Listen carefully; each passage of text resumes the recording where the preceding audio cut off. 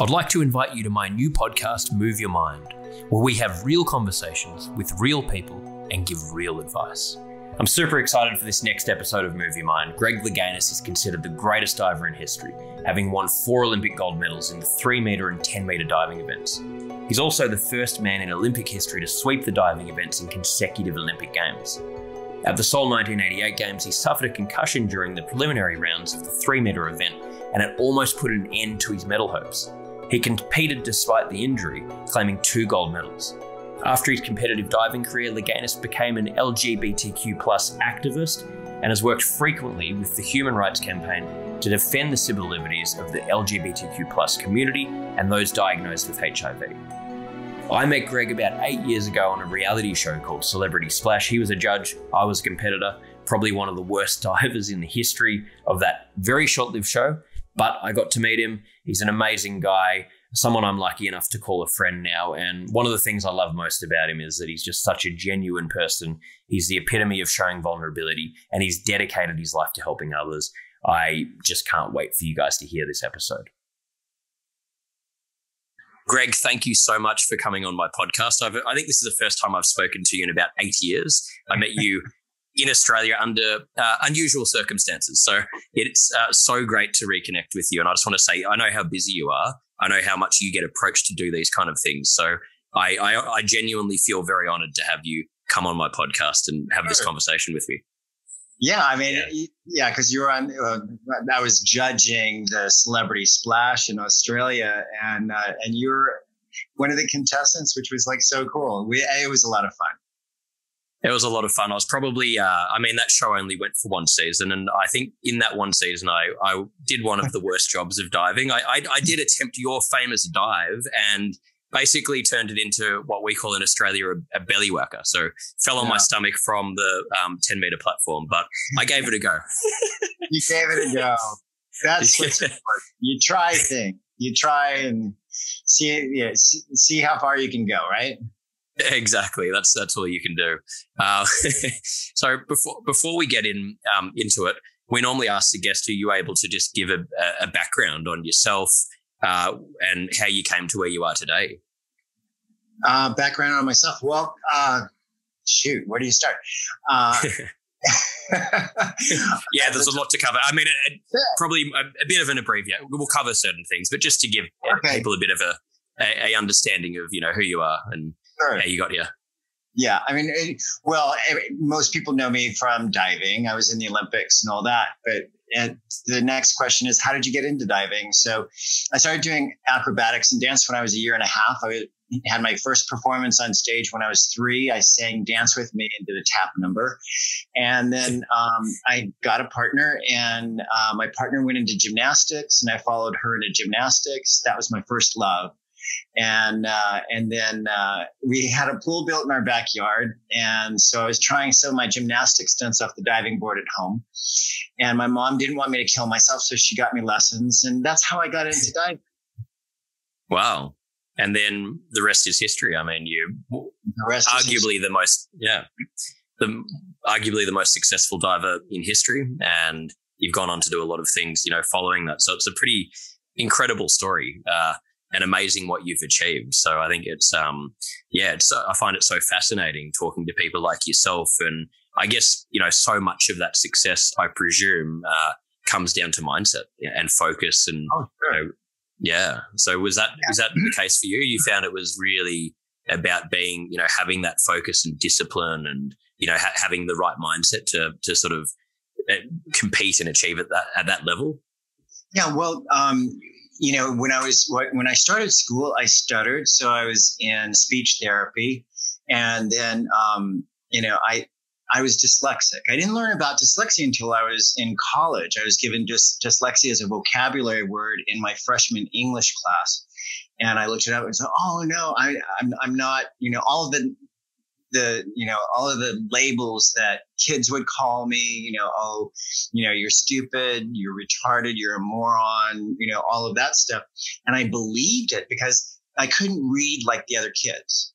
So then um, so i was in you know remedial reading and all that stuff. But um, i didn't feel like i had my academics. So when I was performing on stage, uh, whether it was singing, dancing, doing acrobatics, uh, that was my area of success. I had success there. People applauded. I, you know, I got, um, you know, adulation and all that. And then moving into competition, you know, with gymnastics and, and then into diving, you know, getting some success there. And so that was really encompassed really my, my self-esteem, really, mm-hmm. you know, something that I could do. I could do it well. I could show people I could dance. I could do acrobatics. I could dive. Um, and so that's the reason why it was so important to me. Um, but as far as, you know, you know, my development, I was, I, I learned how to visualize when I was three years old because that was my first wow. performance on stage. And so what my, in, my teacher said, it was the day of the recital. I got uh, my costume, I got a top hat and cane, some of the choreography kind of adjusted. And she said, okay, do the routine fluid, put the music on and left the room.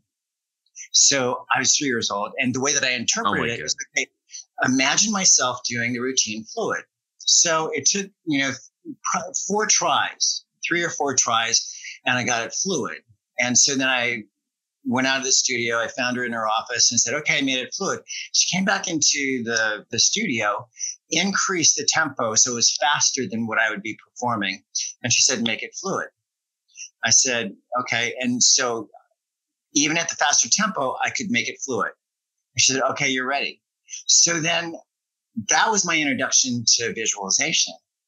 Yeah. And then by the time uh, late 70s, early 80s, the sports psychologists started coming around the pool and saying, Have you tried mental imagery or visualization? I'm like, going, duh, doesn't everybody do that? You know, so um, so that's really been the key to, you know, a, a big key to my success. You know, and mindset is a part of that too you know tapping into you know those resources because performance is in is in your right brain and music yeah. is right brain, color is right brain, all of that creative stuff. When you start judging yourself, you know, you have that that critic on your shoulder telling you how you can't do things and how you you know are supposed to do things, then that's left brain. So yeah. So that's that's the reason why I was able to be as successful as I was because I was so right brain dominant that um, you know I just tapped into that and you know the ability to perform, and that's how I viewed my diving. It, it, it wasn't mm. a competition to me; it was about a performance.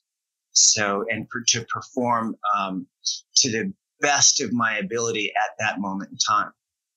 Wow. Well, yeah. Thank you for sharing that. Like, I find that so fascinating, and I think visualization. I've heard you know quite a few people talk about it. I try and do it, and uh, it's you know it's such a powerful thing like you're saying and being able to tap into that that thing where it's not about um, you know all of the external factors that we're exposed to in the world which i think like you're saying anything creative it's what needs to be done i I've, i i would think in sport it would be even harder to tap into that because so much of it is about competing and measured on you know there's a a winner and a someone who comes second and third and so forth.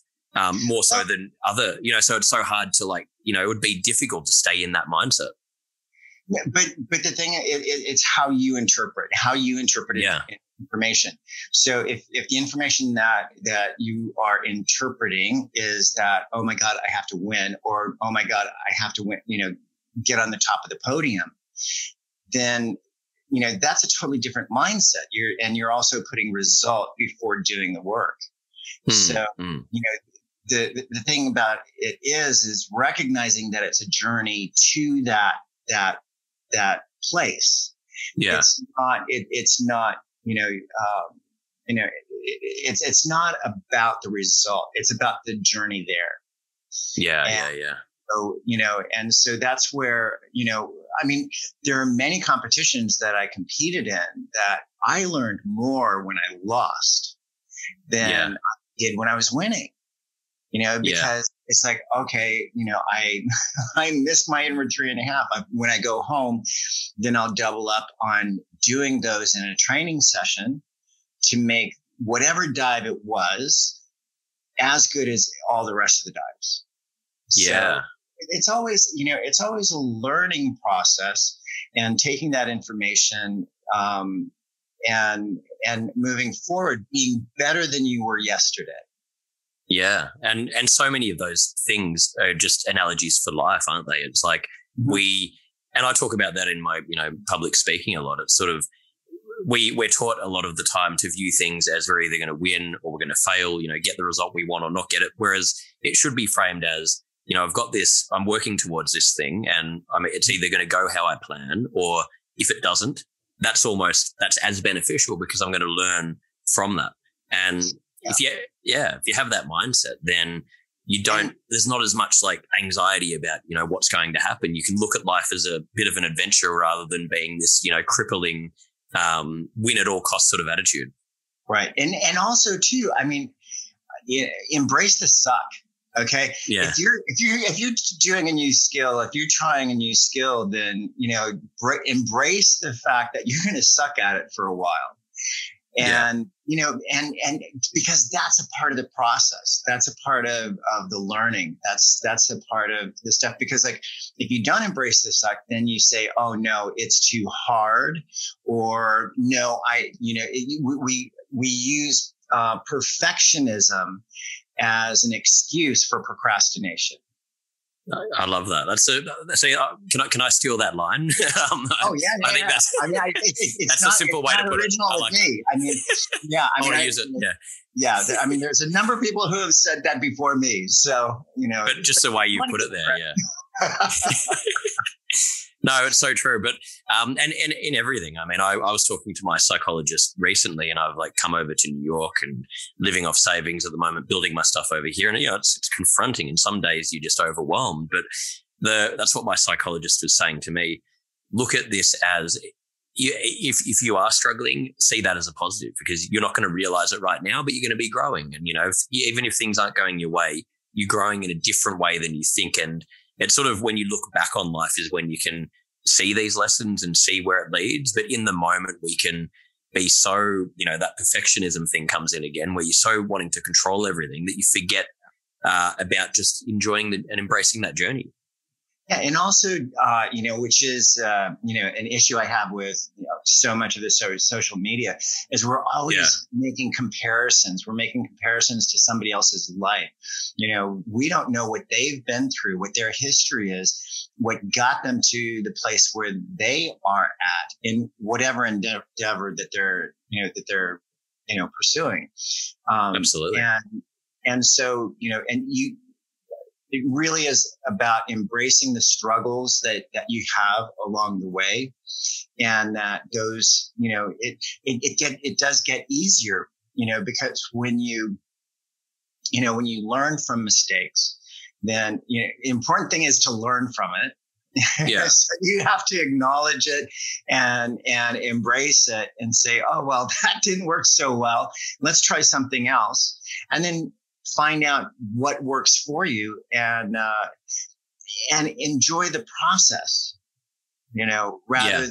than than so you know because we get so you know narrowly focused uh, on result result result result yeah you know yeah but it takes a while to to build those layers of knowledge and embody those those layers of knowledge to you know to be able to accomplish some really incredible things but we have to allow ourselves give ourselves permission to fail to struggle and and you know move forward and also and yeah. i think this is really key in as far as mental health you know because i know that that's a real uh, real focus of, of a lot of the work that you do.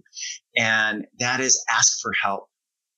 Absolutely. You know, I'm a firm believer you don't achieve greatness on your own. You know, even yeah. you know, at the 88 Olympic Games and I hit my head on the springboard and I came back, I couldn't have gotten through that competition without my coach, Ron O'Brien.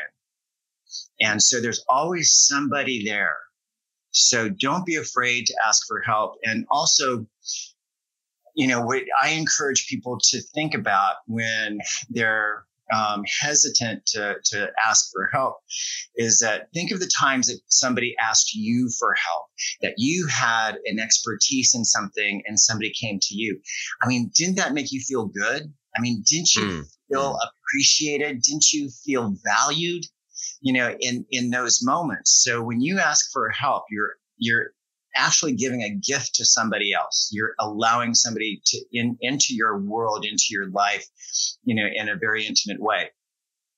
Yeah, I think it's it's such, and that's the thing. No matter who you are, no matter what you've achieved, no matter you know, no one can do it by themselves, and and you know, and and whether it is asking for help because you know, look, I'm struggling, I'm I'm not coping mentally, I need help, or if it is you know, in a work thing or whatever you're doing, I, I need support, reaching out to people. People actually want to help people. And mm-hmm. and and on the other side of it, like you're saying, I, I often say to people, well, um, helping people, uh, it feels good when you go go and do that. So even if you have a mindset where you look at it selfishly and think, you know what, I'm going to go and try and help in this area because it's going to make me feel good, but it's also going to have a byproduct of helping people. And then if we all had that mindset, we can you know, change a lot of these societal sort of structures that are in place and make, you know, it just becomes more support out in the world, which is so important. Yeah. And, and the key is to, you know, to keep your sense of humor, laugh at yourself, you know, yeah. That, so, so important that, you know, you know, that we play through life. You know, yeah life is supposed to be fun. It's supposed to be enjoyable, and we should be playing through life. And I mean, shoot, I mean, I spent like yeah. the entire morning trying to get my Venmo thing working, and it's, it's like, oh my god, I'm such an idiot, you know. And then I'm calling this person, how do you do this, you know?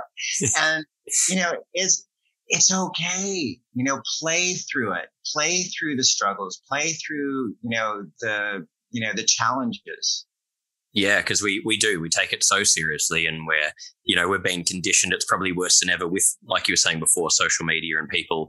No matter even if even if you are happy with your own life, you can find ways to be unhappy with it because you go and open your phone, you see someone that's apparently you know we don't know, but they've curated it to make it look like at least that they're doing bigger and better things and happier and having more experiences, and then we tell ourselves, you know, what's wrong with us? How do I get that? And then you get anxious. So it's like just you know, realize that nothing's perfect, number one. And number two, just enjoy it. Like I love what you said. I think if you if you always just have the mindset that I'm going to enjoy the process, then you can't really go too wrong, can you? No, no. And and also, I mean, a lot of those pictures, I mean, that is just a snapshot of something. You don't know what's going on yeah the 99% of the time that you know that they're not they don't have a camera on you know? Yeah um, yeah. yeah and just you know you know playing through life and and and in you know enjoying it embrace the suck know that you know yeah. and, and it's okay it's okay to you know to you know it's okay to struggle and and also i mean a lot of those struggles when you share your struggles that's that is vulnerability you know, yes, showing your vulnerability. And it's, you know, it, you know, it's so empowering for exactly. other people to see that. It's like, oh my God, you know, they're not perfect and they have struggles. They have the same struggles I do, which gives other people courage to push through their struggles and their challenges. Absolutely. Yeah. It's just, uh, I mean, because everyone, everyone, you know, no matter who you are, we're human. We're going to feel good things, bad things. We're going to feel nothing sometimes, but it, it doesn't get talked about enough. And there's so much comfort in that. So it's, it, it's such an important point. Uh, yeah, and and yeah. The, you know, and and the thing about uh, you know, because like oftentimes you know you you know the Olympics are coming up right in Tokyo, and when you see the performances, you know this you know this incredible excellence on display. Hmm. You know, it's you know you're seeing a finished product. Hmm you know you're not seeing the struggle you know the injuries that happen during training the uh, rehab you know after an injury all of the you know the time and dedication and you know the you know all of the 30 second places you know that they've taken in their life you know to get to you know get up a little bit more and a little bit more, you know, to 15th and to eighth place, and then to make it to the podium, and, you know, top three. You know, it it's all incremental learning, and yeah. they go through that And then we see this final product, you know, at the Olympic Games, and we think, oh my God, you know, that yeah. this is this is amazing, but you know, it's they don't see the struggle. And there's yeah. there, there's a huge, huge, it's like an iceberg. You know, what you're seeing is the t- tip of the iceberg. And underneath the iceberg is all of the work that went on, you know, went to create that what you see. Exactly. And the work, you know, it's messy and it's not it's not pretty, but it, it it's again, like you said, no matter what you're doing, whether it's, you know, an Olympic athlete or working, you know, a nine to five job or running a business, the people that succeed are the ones that are able to find a way to enjoy that messiness and that challenge day to day without worrying about the end result, which, um, you know, I'm, that's what I was going to ask you before as well. I mean, you're one of, I, I, I don't know if you're the only um, diver or one of the few to win consecutive gold medals, 1984 and 88. Um, Pat, with yeah, Pat, Pat, McCormick. Pat McCormick won uh, two golds.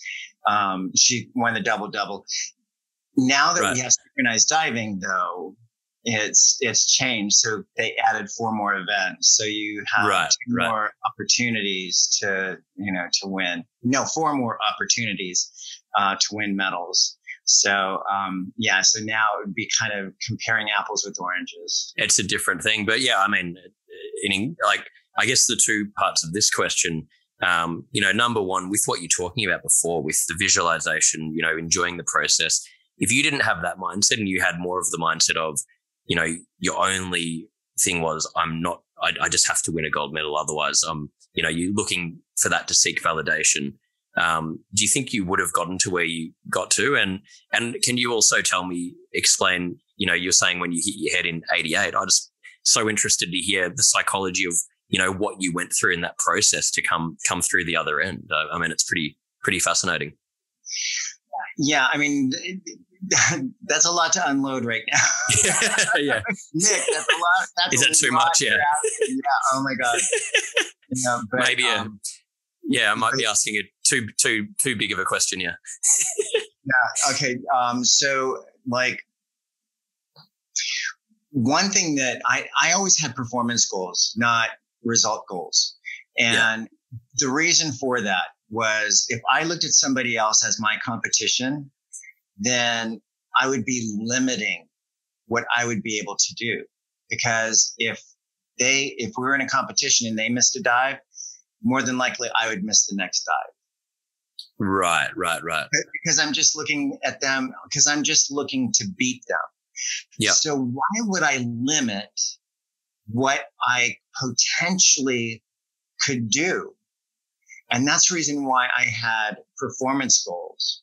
Hmm. You know, it, you know, because then you have to, you know, to break world records, you have to be, have the courage to leave everybody behind.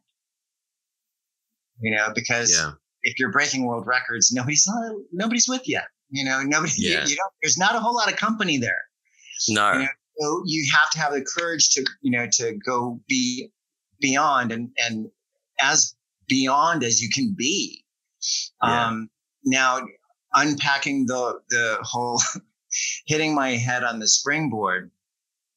You know, when when I took off the board at my reverse two and a half pike, I knew I was going to be close. I stood it up a little straight, but when you do that and do that dive, you usually are afraid you're going to hit your hands or or your arms. So when I came out, I made sure I was wide so I wouldn't hit the board.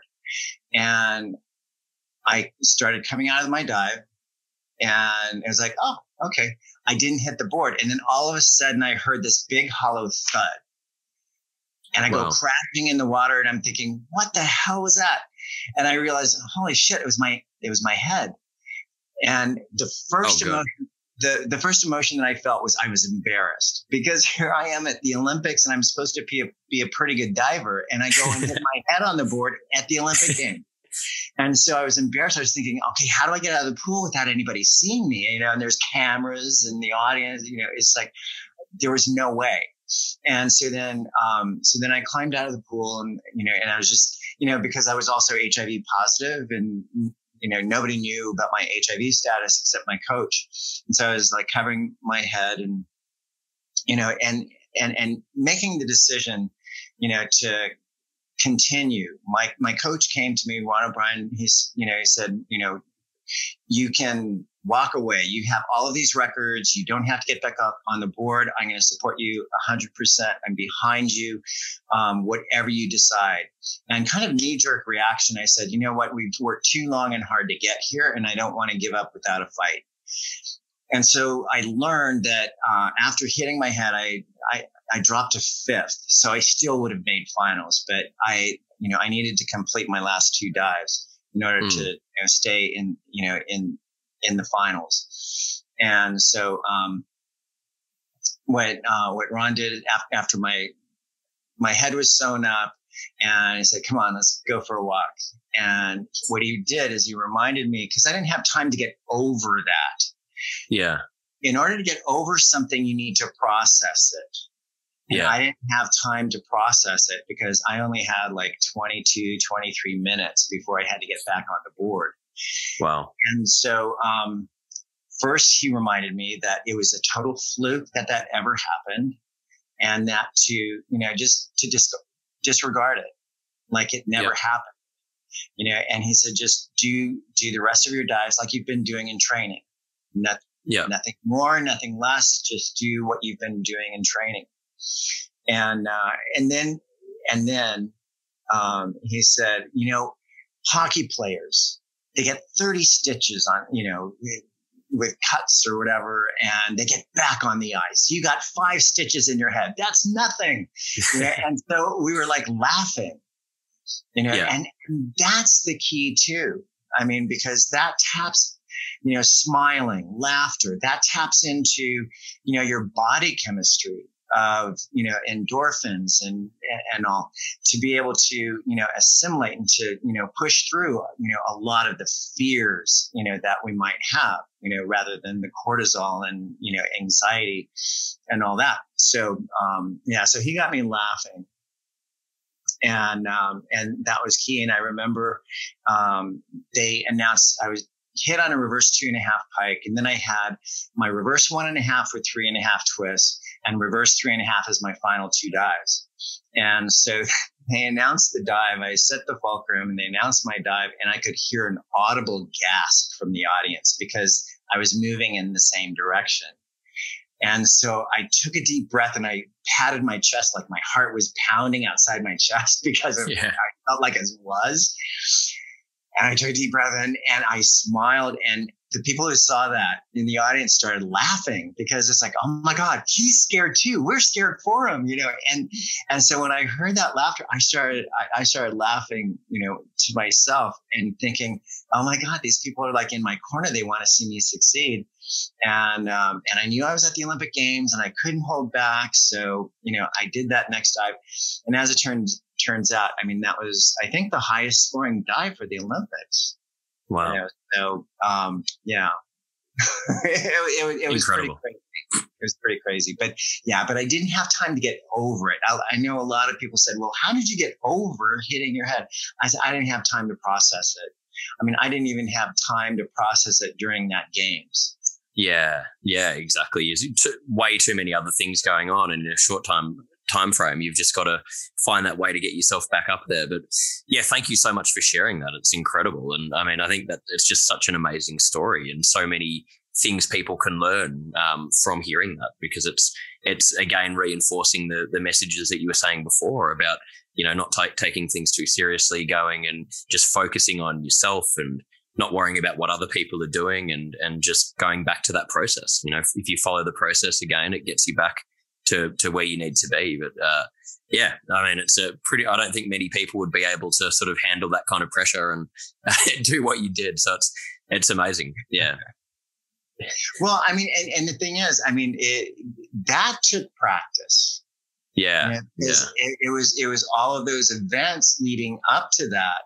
You know, whether it was yeah. you know world championships, you know, things that I learned along the way implementing a lot of those things through the process and then culminating in that that one moment in time that putting all of those things that I learned together to be able to accomplish what I accomplished. Yeah, yeah. Well, it's um, yeah, it is an amazing story, and I mean, you've gone on to do so many incredible things as well, and I think it's just so incredible.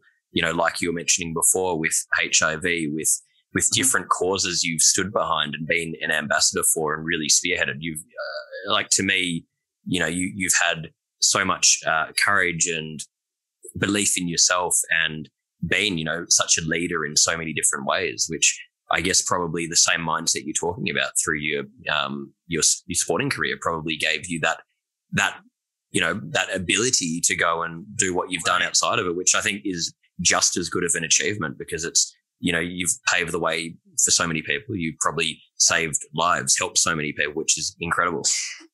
Yeah, I mean, and, and, and that's one of the things because um, uh, you know I've, I've gone to uh, you know a lot of doctor's appointments with uh, newly diagnosed HIV seroconverted um, um, individuals, and hel- helping them navigate through you know a lot of that.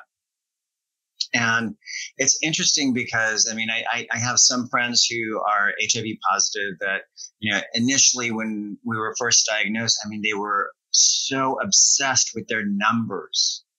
You know, mm. it's like, okay, my viral load is this, my T cell count is this, and and they get they even get depressed if their T cells go down, and you know, and it's you know, and they'd ask me, you know, how how do you handle it? How how do you deal with that? I said, you know what, you know, I go into the doctor, he gives me my numbers, and you know, it gives me my progress, gives me uh, a plan of what I need to do, you know, to improve my situation or encourage me that I'm doing a good job, whatever. I take that information and then when he puts that file back in the filing cabinet, that's where I put it. You know, I take my meds yeah. in the morning. Yeah. I take my meds in the morning. I take my meds in the evening, but I go about the business of living. My numbers are my numbers and they're just numbers. So yeah. I don't, yeah. I don't obsess over it. And also, I don't know, I don't really understand all of those numbers anyway. so, you know, so, eh, you know, I just, you know, focus on what's in front of me. You know, yeah. and, and yes. so important. Thank you so much for supporting Move Your Mind. We're expanding the offerings of the organization and we're tailoring everything we do to suit you guys and to try and answer to all of your needs and the questions that you send in. The book is available globally. You can find all of the links at nickbracks.com slash book. And we've just released the Move Your Mind community. We've currently got a men's community group, a women's community group, a general group. We're going to be lo- loading up other groups. And you can find all of the links at moveyourmind.me. This group's been created based on the needs of what we've heard and learnt throughout running Move Your Mind. And we have live events, we've got courses, we've got huge amounts of value the ability to share information, share ideas, work in groups together to, to grow and share your learnings, to learn about different topics. You get email reminders. There's a whole lot of features in there. We're constantly updating it, and we're so excited to share it with you. You can find all of the information about it at moveyourmind.me.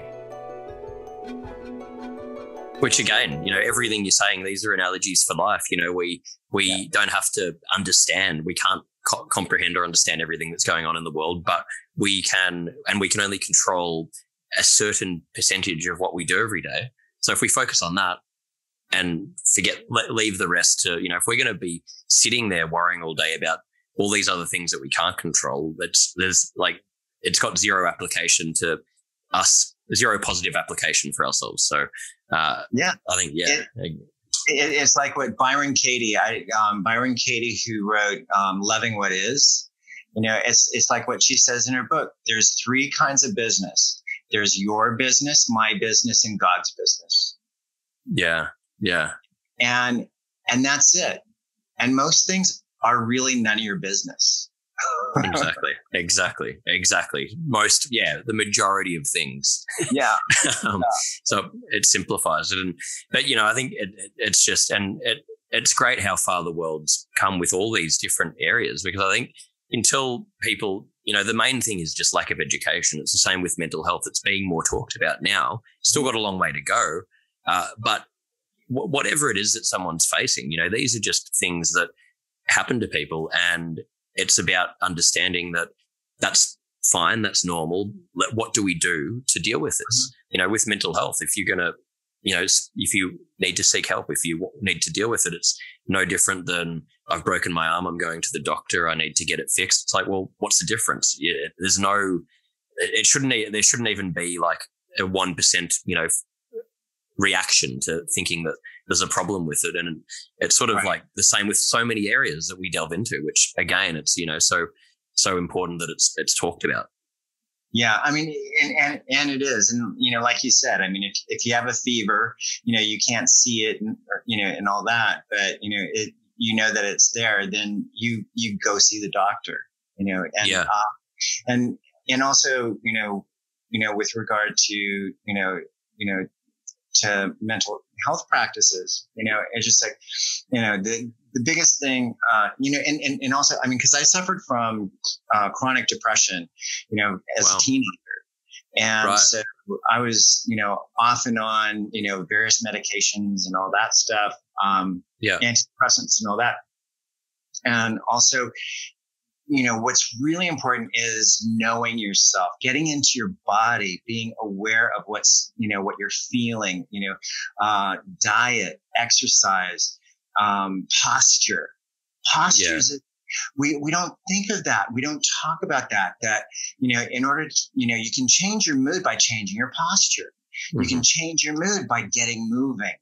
You can change your mood by, you know, just, you know, being, being active and in, engaging. Um, and so, you know, that's really important. I mean, I, I've gone on to, um, you know, to go more a holistic approach. So, you know, I have a vitamin regimen. Um, and so because my body responds better to that, and this is just me, but, um, you know, and, and also too, I mean, I, it was interesting because I, last year right before the uh, the quarantine and all all this stuff hit, I went through a severe, severe depression. I mean, I was, right. in, but I recognized it and I knew there was something wrong. And then I saw this interview with Dr. Daniel Amens from Amen Clinics, and he talked about concussions and how they can be accumulative. And I was thinking, oh my God, I, I never got after treatment after you know, I hit my head on the board in 88, but I also had another uh, concussion in 79 where I was out for 20 minutes. I hit my head on the platform in Tbilisi, oh, Russia, wow. out. And so I never had any follow up to that. So then I did a brain scan and it was injuries consistent with blunt force trauma and wow. affecting areas of, um, of the brain that, uh, you know, that operate, um, motivation and serotonin and dopamine and all that stuff. So then I got on a, a supplement regimen and also ox, oxygen, um, hy- hyperbaric oxygen therapy. Um, and so it's just like, it, it, it, was transformational for me, you know, but, yeah, you know, but, but the important thing is to, to really be aware of your body and how is it, how is it responding? And also how are you feeding your body? You know, um, I've gone uh, plant based, you know, plant based diet, and um, and feel so much better, so much better because I'm much more aware of you know things that come up and and and how I'm responding to you know various treatments or various activities. So yeah, it's important, yeah. you know, that that we be our own advocates too. You know, that we learn yeah. to be our own advocates. Well, I think it's the most important thing because again, you know, we, we, it's such a complicated area, and of course, we need you know reactive services. If someone's really suffering, they need to you know receive medical treatment. They need to receive see a psychologist or whatever it is that we need. But to make a long term change, we need to educate each other and ourselves about what can I do daily uh, not not reactively if I'm you know really struggling, but what can I just do to improve my quality of life, to improve myself, to improve my thinking and my well being, and have daily things in place that so that when something does uh, go bad, I can draw back on that. And and I think like you were saying. Uh, from my experience as well, and what I've learned, a lot of it comes from trial and error. There's no one size fits all. for me, exercise is, you know, yeah, exercise is by far, I've trained my whole life. And that to me is profound in just how much um, benefit comes from that. No matter what's happening in the day, just any form of movement will just get your mind, you know, clear your mind. You can think creatively and it just gets you out of it. And, but having those daily things and, and having them as a clutch that, you know, and I've had that happen so many times where you feel like you are spiraling or something's happened in your life and you're in, going through a bout where you're down. And then you can just draw on these things that you know make you feel good and then talk about it and, and you know, ask, ask for, for help. If we don't, if we don't go and ask for help and we're not aware and we try and just push it aside, then we won't deal with the problem. Like what you were saying in that situation last year, if you didn't have that self awareness and that knowledge that, okay, hang on, what's going on here? Why is this happening? Is there something different? Let, let's look into it and you you know then you find find a solution to it where you meet so many people and again it goes back to this you know capitalistic sort of mindset that we've been taught that no matter what you're feeling you know no matter how hard things are just push push forward at all and I, I know so many people like that where you'll see that okay something's not right here they don't seem to be too happy but they you can't get through to them because they're just like no i just got to push forward and eventually you know that might work for a while but eventually that's going to you're going to run out of steam. You're going to run yeah. out of steam. I mean, that's the whole, you know, motivation game. You know, mm. you can go to an inspirational talk and be, you know, high for the next, you know, two, three days, week maybe. But then, you know, when everything kind of calms down, it's like, oh, you're just right back in the same rut, right? Yeah, so, exactly. in, order, in, in order to create real change, you need to embrace, you know, lifestyle changes and also, you know, uh, it may even include changing your identity. Yeah. And, and, and how you identify yourself. I mean, we have no control over how others are going to identify us. They can give us all kinds of labels and all that. We don't have any control over that. But how do we see ourselves? That's what's important. And that we don't take on what other people are putting on us and not not taking on, you know, unrealistic expectations for ourselves. You know, well, yeah. mom, dad, yeah. you know, I should be a doctor, you know, or dad said I should be an architect, you know, that we, that we truly live our own lives, that we, yeah. That we have to be in touch with who we are. Exactly. We, and yeah, we can't do that until we are in touch with who we are. And we're, we're taught the opposite. We're taught that okay, don't worry about doing any of that pers- personal development crap. Go and, you know, go to school, get good grades, go to university, get a great job, you know, do all that stuff first. And yeah, then and this will make you happy. this will make this you happy. you ha- this will make you happy. You know, other people are telling you what's going to make you happy. You know, yeah, but yeah. ultimately, I mean, we we leave ourselves out of the equation. If we leave ourselves out of the equation, where's true happiness? It's crazy, and, and and there's no blue. You know, you're not again. You got to sort of discover this stuff for yourself, which is why I think it's so important we you know have a conversation like the two of us are having right now. People need to hear this stuff because we're just simply not taught it enough, and it's not our parents' fault. But a lot of the time, parents, you know, they're doing it out of love, but they're they're forcing kids to go against what they really want to do and go down a path that is not going to make them happy. And and you like like you were saying just before, you really can't work out for yourself who you are, what you your identity is, what you want to do with your life until you, you know, take a step back, peel back the layers and just go back to basics and think, hang on, what, you know, what makes me feel good? What do I really value? What, what gives me meaning? What's my purpose in life? What do I want my purpose to be in life?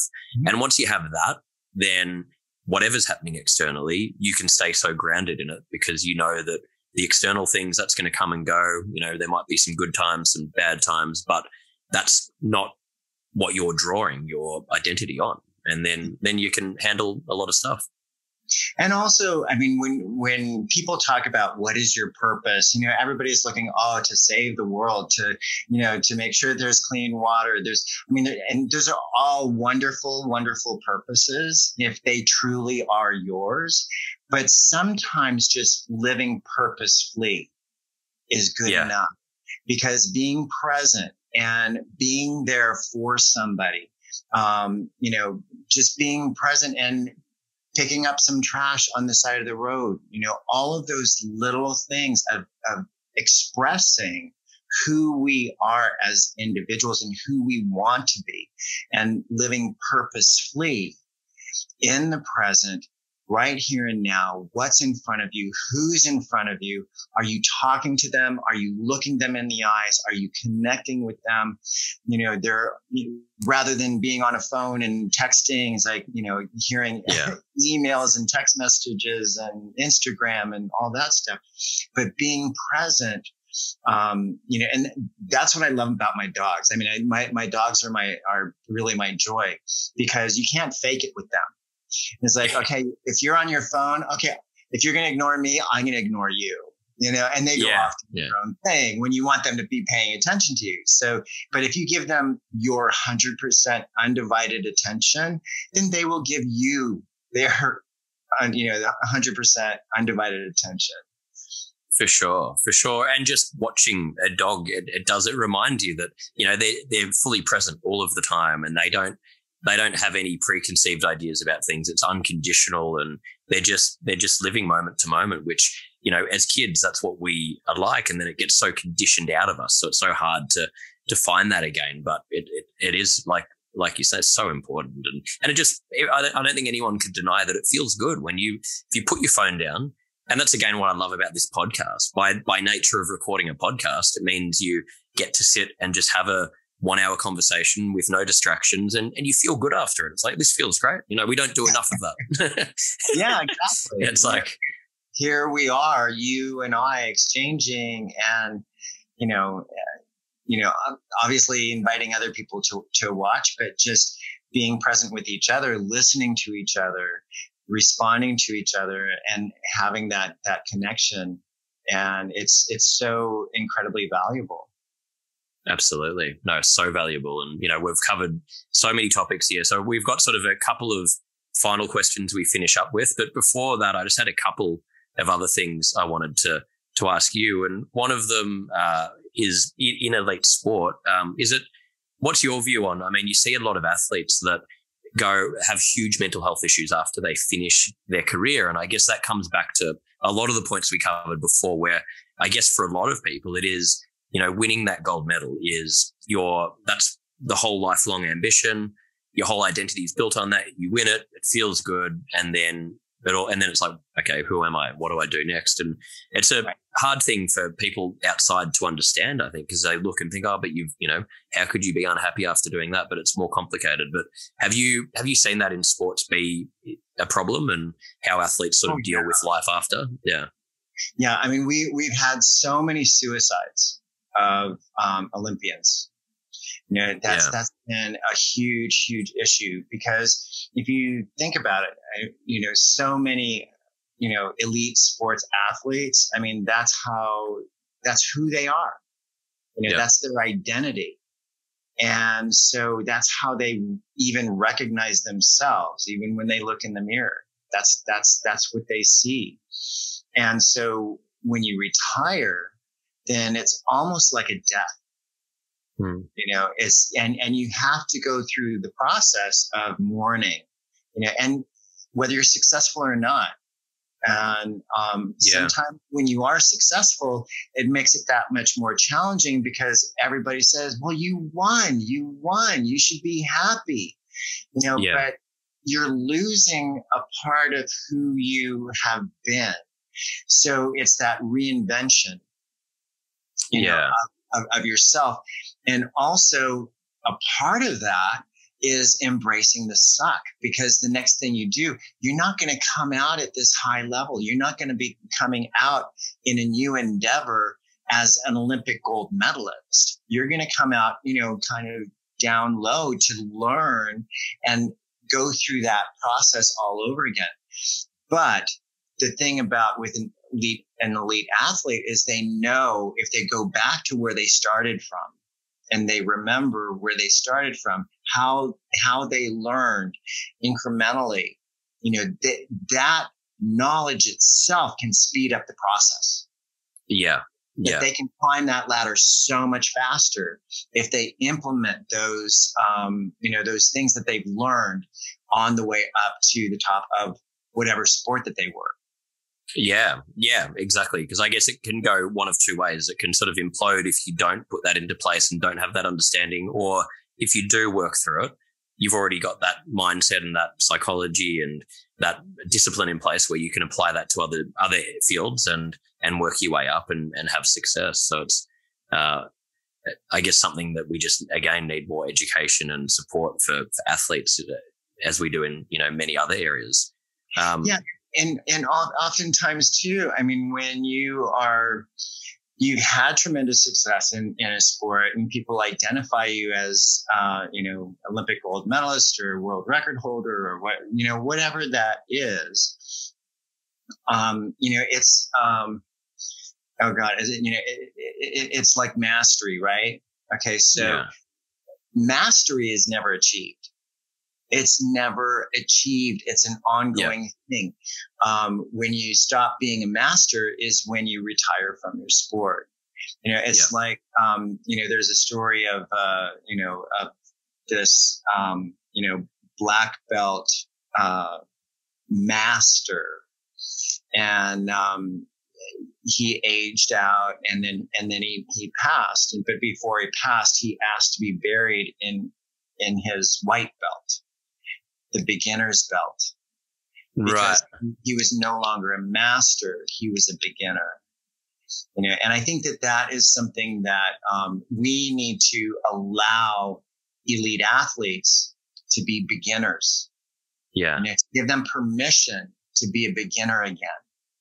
Yeah. Um, because there's so many high expectations of, you know, okay, they go, um, you know, on, on the world stage in the Olympics, you know, they achieved these things. And then now they're pursuing a career in music or they're pursuing a career as an actor or they're pursuing business or whatever, you know, they're not going to be at that high level because they have they need to go through the incremental learning to get to that place and yeah. so first time out you know uh, you know I, I think the important thing is to allow those individuals to make mistakes and to you know and and to you know reinvent themselves you know yeah. because it takes time to reinvent yourself yeah oh, it does and and and like you said i think that applies just in life, that whole analogy of I, you know, you're by a certain age, you've got to reach X, or once you acquire whatever it is, then you've got permission to relax. It's like, well, it doesn't really work like that. We we never master life. We always keep learning. If you're pursuing acting or something like that, um, you're you can can't master it. You're going to be learning until you either stop or until you die. Uh, and that there's not an endpoint, but that, then there's like a lot of um, comfort in that because then you can take the pressure off and think, well, it's okay. I've got one goal here. I just want to improve and get good at doing this thing, but I'm never going to have all the answers or master it. And, you know, I'm just going to keep learning. And that's, it takes that pressure off, which uh, I think society puts, if we let society put it on us, that can just detract us from going and doing so many of the things that we deep down, you know, want to do and having that peace of mind while we do it. Yeah, definitely. Yeah. Definitely. Yeah. My name's Nick Braxton. I'm a storyteller who has dedicated my entire adult life to creating positive conversations around mental health. In recent years, discussions around mental health have become less taboo and entered the mainstream vernacular. I've delivered over 1,000 mental health seminars around the globe, including several TED Talks, and I believe we all have a story to tell. In my book, Move Your Mind, I cover my story and stories from people that inspire me, as well as insights from world leading mental health experts. This book will help you to learn how to recognize mental health issues before they become a problem. Use your personal challenges as motivators, take ownership of your well being, and create new daily habits that increase happiness and reduce stress. Um, so before I go into these final questions, just w- one last thing. You talked a little bit about it before. Uh, do you have uh, daily things that you do? I mean, you, you said with you've got a holistic, you've got you um your diet, different things like that. Mm-hmm. Are there are there certain things you do most days that help you, you know, that are good for your mental well being? Um, probably. Well, um, and it was funny because like you talked about your visualization that you need some work on that I have a course for you. I, would yeah, love to do um, this. Yeah. Yeah. It's, it's meditation in motion. And um, basically, it gives all of the elements um, of, of the meditation, breaking it down into small enough chunks where you, you know, we focus on breath, being curious about your breath and breathing exercises, getting into your, into your body, bringing awareness in, into your body and how it's, you know, how it's feeling, and uh, what's going on, uh, and then activating the imagination with and it's all with games, you know. So it's all fun. I mean, it's yeah. um, you know, I, I think that that that's really important. And actually, I think there, it, it's great for kids. I, I, do some of the exercises with kids, and they love it. They love it. They they have so much fun doing you know doing a lot of that stuff. So um, yeah, so it's very accessible. Um, but uh, yeah, so that is is something that's that is really important. You know, I do have a meditation practice, but also um, my yoga practice is really and yoga is meditation in motion. So, yeah, moving meditation. Yeah, yeah. So it's moving meditation, yeah. and so I have my yoga practice that that I do, um, and you know, and and the dogs. I mean, the dogs keep me keep me grounded. They keep keep me humble, you know, and uh, you know, and and and and and that's that's something you know that's that's so important. You know that you know being humble, that humility, that you know we're always learning. That you know because if if you think you know it all, you know you can't. You know, you can't pour into a full cup right? Yeah. It's going to overflow. So um, you have to empty yourself, you know, each day, you know, and I think that that's really important that you start each day. It's like, okay, you know, I've, I've got it. I've got all these wonderful experiences, but today I'm, I'm learning, you know, te- you know, give, give, you know, teach me what, what I need to learn today. So I yeah, yeah. Important, an, an important practice. I really love that, and I'll have to after this get some information about the the program as well because it sounds. I'd, I'd love to look into that. It sounds really good. Sure, yeah. Yeah. Thank you so much for sharing sharing yeah. those. yeah. Yeah. No, I appreciate you sharing it. Um, so we finish each episode with these closing questions. These can be, you know, quick answers, whatever comes to mind. It's just sort of five questions we like to ask each guest. Um, okay. So the first one is uh, what is the best childhood memory that comes to mind? Um, best childhood memory that comes to mind. Uh, best childhood memory. You know, this is a weird one. Um, I, you know, because like I, I, you know, I'm, I'm an alcoholic addict and I self-identified. Um, and but a memory was uh, that just popped into my head was sitting on my grandfather's lap and drinking the foam of his beer. Wow! I mean, yeah, I, I just I yeah. just remember you know being on the front That's... porch in the rocking chair with my my grandfather sitting in his lap and he's giving me I like. the of his beer. I think I was probably two or three years old. no wonder I'm an alcoholic, that. right? See what he started? Uh, I know. Started at three years old. So three, yeah. three, you started performing and started drinking. You know. Go figure. Yeah. So that was sort of another another thing you've you've had to sort of deal with through your whole journey with you know drinking and and that that as well. Yeah. Yeah. Yeah. Yeah. Yeah.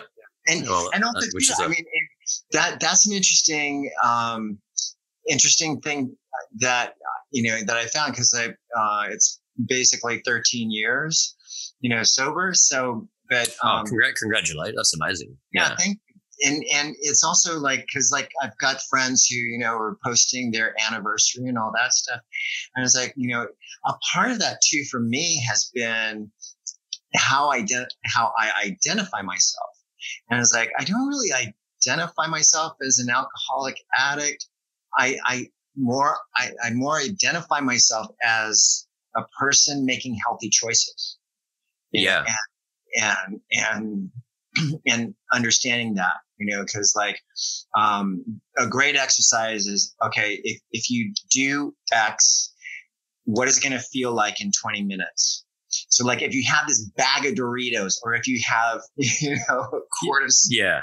or vodka or whatever it is, what what is it going to be if you if you finish that? How are you going to feel in 20 minutes after that? And you know, Yeah. it's usually like you know, and and that's the one thing that I love about being sober is like I get up in the morning. I love the morning.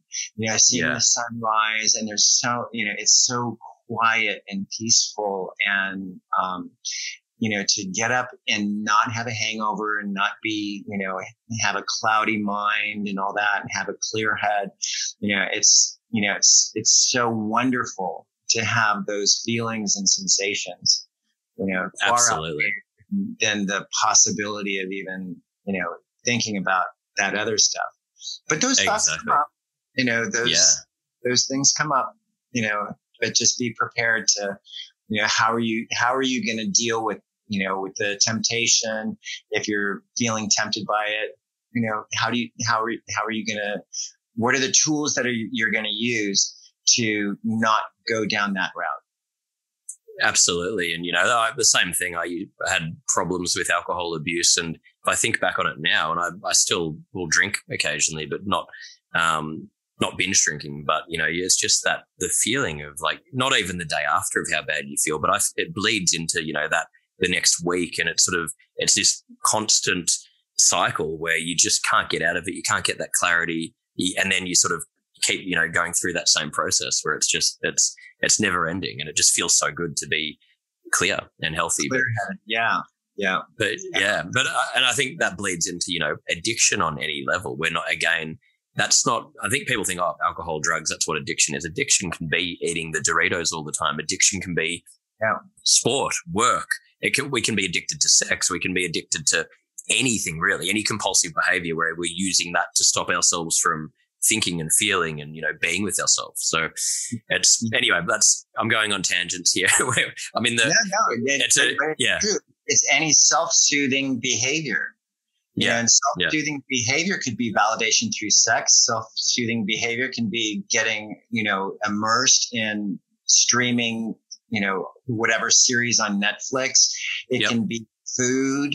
It can be any number of things that are pulling it, pulling you, uh, keeping you distracted from some uneasy feeling that might be happening within within yourself and not Exactly. addressing. because it's it's it's not and that's what people need to understand as well i think it's uncomfortable and it takes a long time and it's you know not pretty to sit still and have to face those things and there's no end to that as well you got it's a constant battle but it's totally worth doing and i think it, Mm. it's the same analogy as saying well i want to you know i'm overweight i want to lose weight well we know then what we need to do you know we're going to diet we're going to exercise and once we lose the weight we're not going to just stop what got us there. We've got to keep going. And it might not be pleasant all the time, but the end result's worth it. And that's the same with all of this stuff. You know, it's like, it's a constant thing. Yeah, and and and there again, I mean, it's it, how how you identify yourself. You know, like um, you know, I if you're trying to lose weight, then you know you hang out with people who have you know who are at a weight that you want. You know, that Yes. they're fit, that they're you know it's it's who you hang out with, and and then cue off them, and then Yeah. you can you know you can build your confidence through their confidence and then and then it's it's almost like eventually you self-identify differently Yes. Yeah. I think it's so important. Self-identify as somebody who is making healthy choices who is eating healthier who is you know getting out and moving whether it's hiking walking walking the dogs you know running biking you know just getting active Yep. Yeah. I think that's, um, you know, even if we have the best intentions and we want to do the right things for ourselves, if we're around the wrong people in the wrong environments that are conducive to negative behavior, it, even the strongest willed person can get pulled back into that. So it's, it is, it's like identifying, okay, you know what? I'm going to have to remove myself from certain situations. I'm going to have to remove myself from certain relationships if they're not conducive to the path that I want to go on now. And because mm. everyone's on a different path, but I think it, it's such an important thing, and you see it all the time. And I'm still, you know, dealing with that myself of constantly navigating. Okay, how do I stay friends with this person, but not be part of, not be drawn into that behavior. And you know, it's a, it, it takes takes work, but it's important. Yeah, and and also you know to have the courage to stand up for yourself. You know, yeah. because I, I mean, because I'm I'm sure because going to like dinners and events and that sort of thing and hanging out, um, I generally leave early. You know, because if you stay stay late, then you know there's more alcohol. You, you know, there's less inhibitions and all that, and that becomes a trigger for me. So yes. then I know it's just like, okay, you know what? Love you guys. I'll see you. You know, yeah. and yeah. and I'll leave. But to have that that courage to say, okay, you know, enough is enough. I, I know what my limitations are, and for me to have the success and and um, you know, courage in myself, I need to be brave and step away and get out of yeah exactly and and and the reality is you know if if you're out with people and they're having a big night they're not going to remember you leaving the next day anyway so then you can just right. have a coffee with them the, ne- the next day or whatever it is so, yeah, you'll see the pictures the next day of them dancing on tables and you know all the craziness. Somebody you know passing out in the corner and all that. Like, oh yeah, that's what I missed. Oh, yeah, exactly, exactly. all right. Anyway, I've gone on a tangent in these final questions. So four, four more we've got here. Um, what do you think is? And I know there's a lot of burdens, but sort of what do you think is the main, but one one of the main burdens on mental health in society today? I think the main burden is um, uh, the main burden. Um, you know, I think I think the thing that, that, that people have the most difficulty with is asking for help. Yeah, you know, is I mean, it's so hard to you know for a lot of people because then you know because it really is one of those spirals that can you know it's hard to get off of because when you get start going in that spiral it's like oh i'm i'm worthless. Nobody would want to take the time. Oh it's you know you you get into this cycle when you really need to be reaching out. It's it makes it so hard um you know and uh you know and be, because i think you know i i know i was stigmatized you know by the whole you know that whole thing. Oh well you we don't need to lock you up in a crazy house, you know, or, you know, it, it, there's, hmm. uh, I, I, think it's shifting. I think it's, you know, mental health is, is making a shift. There's more people talking about it and being open and honest about it. And, um, I think it's, it's, you know, bringing down the stigma, but it, it's, I think it's always going to be difficult to ask for help. Yeah. Because yeah. once you get on that, that that cycle, that merry-go-round, it's it's kind of hard to get off. You know, it's it's hard to yeah. find navigate your your way to to really ask for help. Yeah, yeah, that, I, I totally, and and you know, no matter how much, which is great that it's getting more talked about, but I don't think we're ever, or not in not in you know the short term, we're not going to get to a point where uh, everyone's you know it's going to take a long time to get to that point where everyone feels comfortable to talk about it and and that, that's it that's the thing you know the, there's one thing you should not do and that's do nothing you know go and talk to someone right. go and go and do do something about it because it will it'll bleed into a bigger problem and i think people often also don't ask for help you know there's obviously multiple reasons maybe they're, they're too scared or the stigma but also a lot of people don't ask for help because subconsciously they don't want to have to deal with all of the internal problems they're facing because that's scary. So they'll mm-hmm. tell themselves there's other reasons that they're not seeking help, but really they're not wanting to have to confront because they know that's going to open this Pandora's box that's going to take a long time to deal with. So we try and avoid that and, you know, bury our head under the sand, which it's again, it's not sustainable, but yeah. yeah. And, you know, and the other thing, cause I, you know, I was doing some shadow work with, you know, with a friend of mine and, um, it was so fascinating because, um, you know, in, in, in, doing shadow work, you know, you know, you know, you don't want to go there. You don't, you know, it's terrifying. It's scary, you know, but when I started writing, you know, I realized, oh my God, my shadow has, has a real sense of humor. It's sick sense of humor, but it's, pretty, it's pretty funny, you know? Yeah. Yeah. And so once you get, get to a place where, you know, it's, it, it's not as threatening, you know, yeah. it's, it's yeah. not as scary. And so when I saw the humor in my in my shadow, I realized, you know, because like there's, you know, there's, you know, different shades of the shadow. You know, Yeah. and the shadow the shadow can be really, really super creative. Yeah. Where Yeah. a lot of creation happens is Yeah. through the shadows. uh, You know, because look at some some amazing, amazing performances. You know, they come from a very emotional place. Exactly. That's where, yeah, a lot of the most beautiful performances come from this very dark place. Mhm. We've got to be able to go there to, to find that. Um, Yeah. Where do you see in, in the next decade, do you see mental health in society improving? And um, the next, I don't know where. I, I, I- I don't know how it's going to happen, you know, and what it's going to look like. But yes, I see mental health very much improving in the next decade.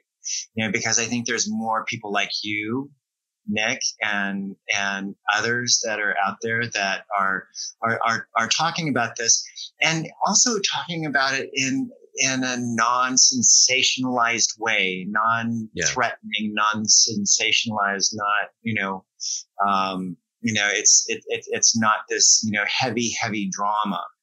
You know, Yeah. it's this you know it's what it what it is, what it was, and basically how we got through. Right? Exactly. Exactly. It's just a normal thing, you know, another part of life that we all deal with and we've got to help each other get through it. Yeah. All right. I've got two more questions here. Um, what would you say is your personal definition of happiness? my personal definition of happiness. Um, um, my personal definition of happiness, you know, joy, laughter, love. Simple things. Yeah, exactly. Yeah. All right. And final one, um, there's definitely so many of these that you've done, but um, what's one of the most, or I've got here, the most courageous thing you've ever done? Again, you've done so many, but yeah, what would you say? we covered we covered so many of them in this. yeah, Um, we- yeah. um, you know what? I, I, I have to say, writing my book, uh, Breaking the Surface, back in what '94. It was published in '95, um, because at the time I thought my thinking was I'm sharing my weaknesses with the world, and everybody's Yeah. going to see how flawed I am.